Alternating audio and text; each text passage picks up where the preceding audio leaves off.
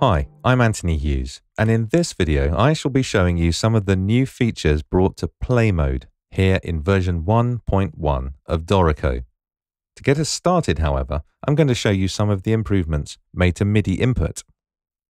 Enharmonic spellings chosen by Dorico now use a sophisticated algorithm that takes into consideration the current key signature the intervals between the next and previous notes or chords, and the intervals between the notes of chords. Broadly speaking, Dorico will prefer to notate notes outside the key signature using sharps if the figure is rising, and using flats if the figure is falling. Spellings that produce a simpler interval, for example, a major third rather than a diminished fourth, will also be preferred.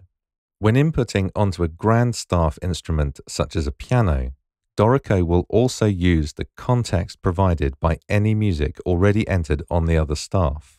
To show you an example, I'll input the exact same series of notes twice, but in the first bar, the left hand of this piano music is spelt as F sharp major, and then in this bar, it is subsequently spelt as G flat major.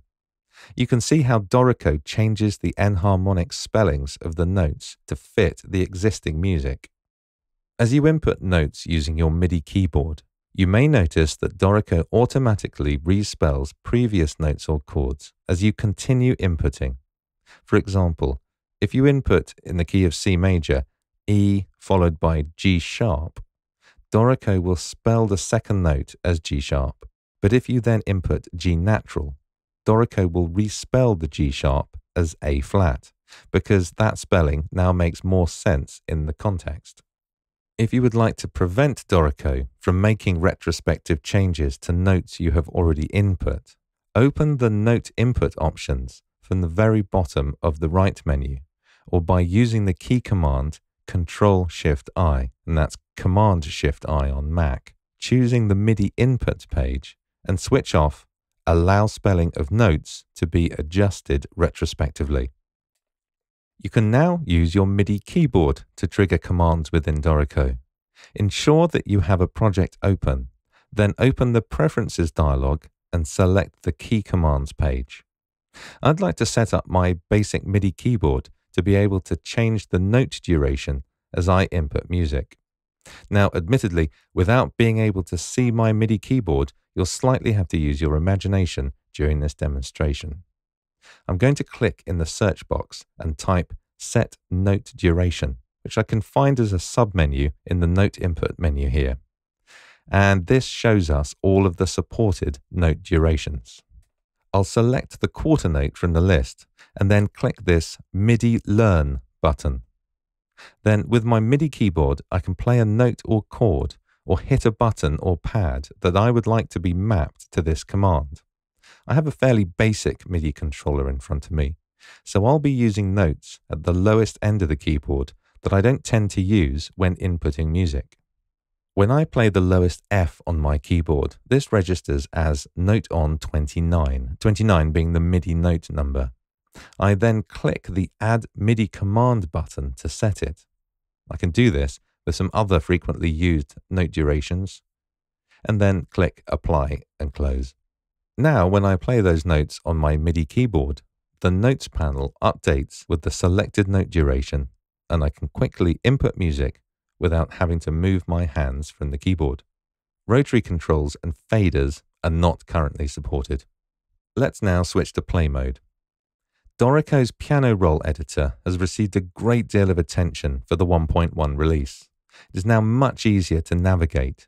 Trackpad support has been greatly enhanced, and you can click in the ruler at the top of the editor to set the position of the playhead. The piano roll editor now scrolls during playback.